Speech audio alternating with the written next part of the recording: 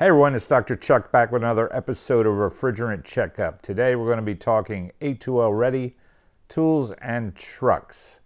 Uh, hopefully this will be a rather short video, which is good news because a lot, a whole lot is changing. But this is another in my mini series of episodes on A2L readiness. I will refer you back to one where I talked about the A2L refrigerant cylinders, and uh, we'll be doing future episodes around things like install, service, uh, recovery of A2Ls, end of life, uh, a number of uh, videos coming up uh, in the future as we get the whole industry ready and get started using A2Ls. So, as I mentioned, not a whole lot is changing, particularly when it comes to tools. And it's only those things that really can impact flammability or create something uh, of a risk uh, when using a flammable refrigerant uh, when we're used to non flammables. But for the most part, your standard hand tools, pliers, wrenches, uh, are all going to be just fine. Uh, analog gauges, hoses as well.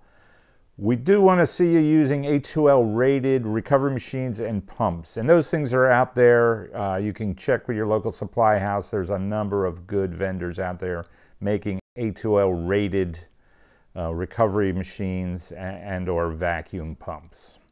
Uh, as far as uh, you know, digital gauges, you'll want those things to be updated, and most of those will be updated with the new refrigerants that are A2Ls, things like 454B, uh, in air conditioning, 454A and 454C uh, on the refrigerant side, 1234YF uh, in automotive.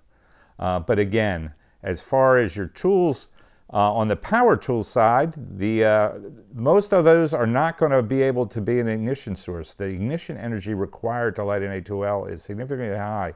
That things like your you know, cordless drills, screwdrivers, uh, are not going to be an ignition source. They line up uh, very closely with things like you know toasters, hair dryers, things around your house.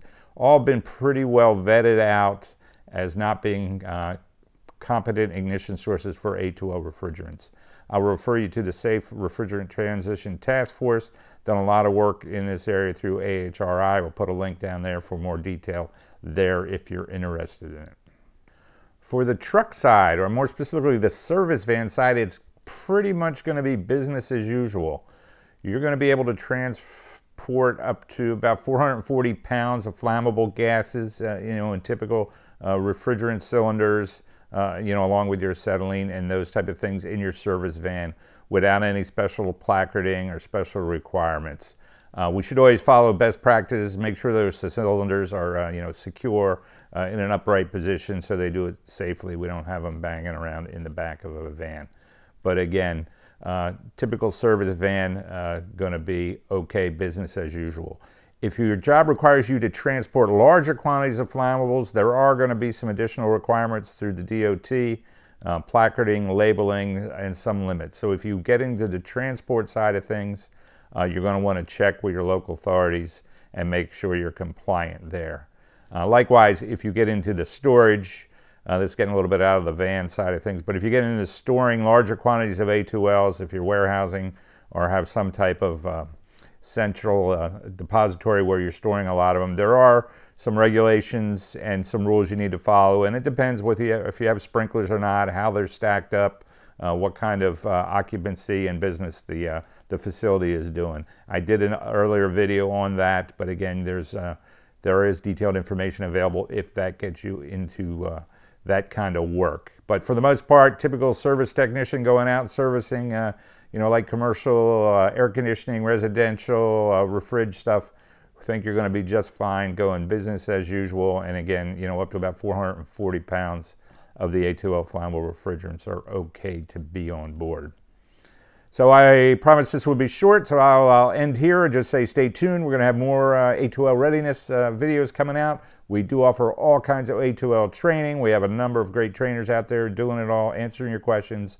Uh, so again, thanks for your support of this channel. Thanks for your support of the Opteon products and Chemours.